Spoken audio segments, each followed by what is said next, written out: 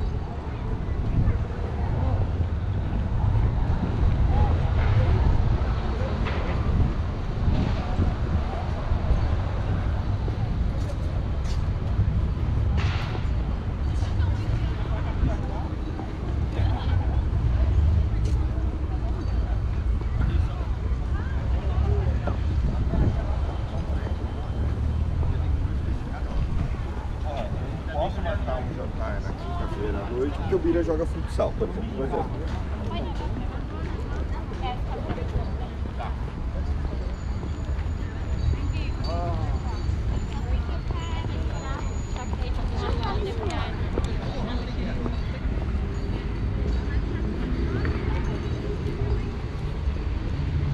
Thank